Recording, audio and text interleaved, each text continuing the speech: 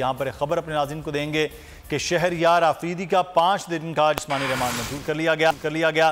शहरयार आफरीदी को पुलिस की खसूसी तफ्तीशी टीम के हवाले कर दिया गया। वसीम चौधरी हमारे नुमाइंदे इस वक्त हमारे साथ हैं। जी वसीम, आगाह कीजिएगा, क्या अपडेट्स हैं? बिल्कुल, पुलिस शहरियार अफरीदी को सख्त आसार में इंसदाद दहशत गर्दी की अदालत में लाई और उनके जिसमानी रिमांड के हवाले से इस्तः की।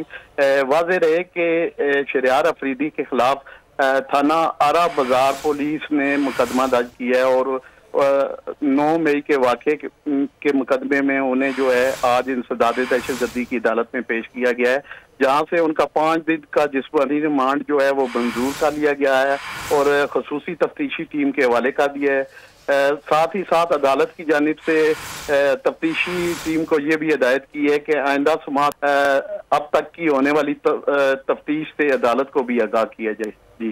ठीक है बहुत ठीक है बहुत शुक्रिया। वसीम चौधरी हमें तफसीत से आगाह करने के लिए। मेयर कराची के इंतखाब की जंग बोल ने फिर छोड़ दिया सबको पीछे। इस वक्त मुर्तजा वहाब मुंतखब हो गए हैं। मेयर कराची ये ऐलान कर दिया गया है बाकायदा तौर पर। अब सहाफती रिवायत रखी बरकरार बोल ने दिखाई सबसे बड़ी ट्रांसमिशन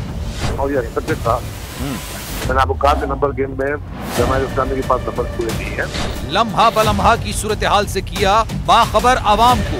रेंजर्स के एहलकार और पुलिस के एहलकार हैं वहाँ ये अलर्ट है। और वो इस बात को कोशिश कर रहे हैं कि अब कोई नाखुशगवार वाक़ जो है वो रूनुमा ना हो सके। क्योंकि बोल है सबसे पहले सबसे आगे। सब्सक्राइब करें और बेल दबाएँ ताकि कोई खबर रह न जाए।